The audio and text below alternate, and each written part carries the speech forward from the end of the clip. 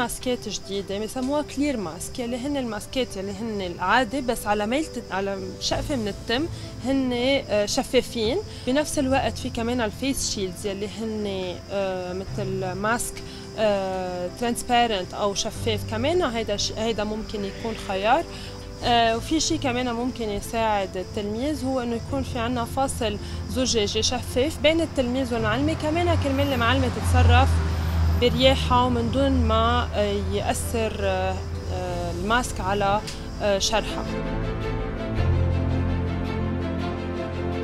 فيها المعلمة تستعمل بالصف ما بعرف إذا المدارس قادرة تأمن لكل المعلمات مايكروفون لحتى يوصل الصوت بشكل واضح لمسمع التلميذ خاصة خلال الإملاء لأنه مثلا بالإملاء أو بال dictation في كتير أصوات متشابهة إن كان بالعربي ولا باللغات الأجنبية.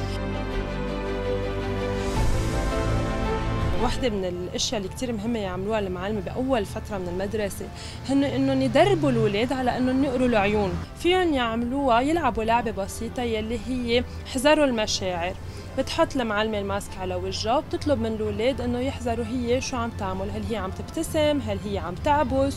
ممكن تستعمل أكثر الحركات بإيدها مثل برافو مثل مثلا cards مكتوب مرسوم عليهم ال emotions إنه هي مبسوطة هي معصبة هي زعلانة. في شيء كثير مهضوم فيها آه، تعمله المعلمه تساعد الولد يكون عنده آه، مساعد بصري لحتى يميز بين الوجوه ولحتى يعطيه هيك مثل يريحه شوي. فيها تحط صورتها.